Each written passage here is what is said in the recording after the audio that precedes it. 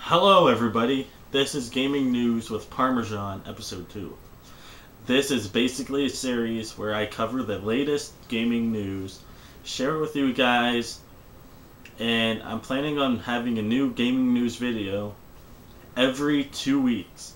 So that means there's not going to be even gaming news video next week, but the following week there is. And it's going to be every Monday. So just keep a lookout for that if you guys are interested in the series. And with that being said, let's go to Minecraft. On the 27th, Wednesday this week, there will be an update for the end.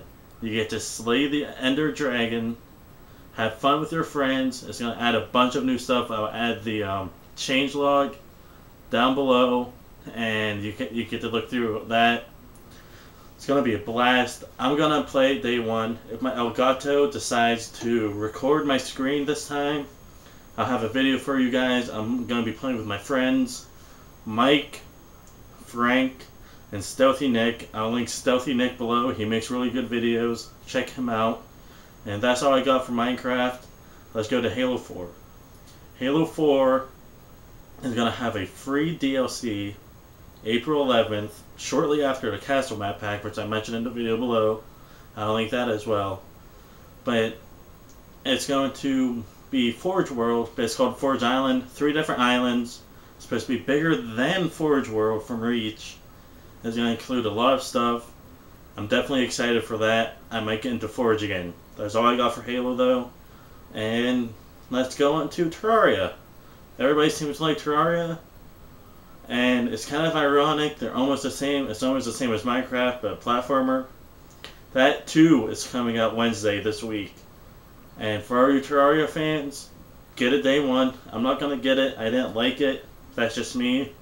Bunch of people like it, and that is coming out Wednesday for you guys. Battlefield 4 released two teaser trailers of a teaser trailer. One's sea, one's land. I'll link those two below. That too the actual reveal trailer of Battlefield 4 is coming out Wednesday as well. Everything is coming out Wednesday for some reason. I have no idea why, but who knows? I don't know.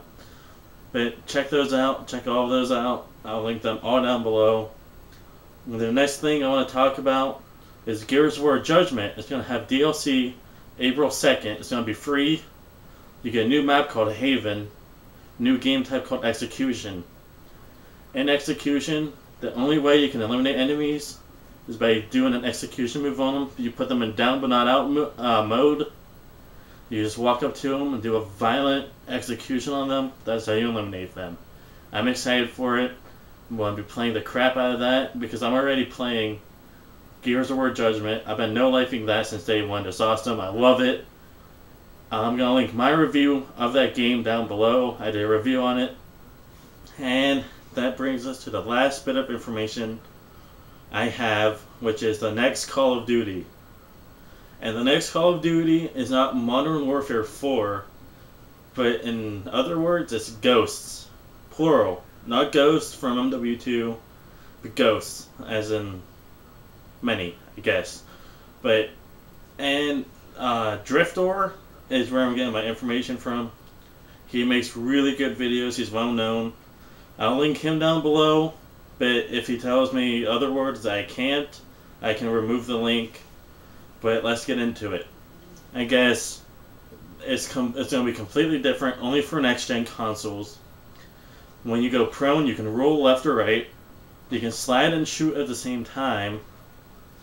And I guess the way you get into the map is that going like 10 the whole way down to 1, then you get the walkway you spawn in through like a tack chopper, slide down a rope, break through glass or something. It's going to be awesome. Watch his video on it. I'll link that below. He talks. He goes into great detail. He has reliable sources. He says he doesn't know if it's true or not, but he is almost positive that it is. So with that being said, that is gaming news. But in two weeks, I'm gonna have a new one. So let's have a contest. What is your favorite game of this year so far and why? I'll pick the best comment, um, feature it in my next video, and give you Microsoft points. 1,600 points that you get to use on the marketplace. And that's about it. This has been Gaming News with Parmersan, Episode 2.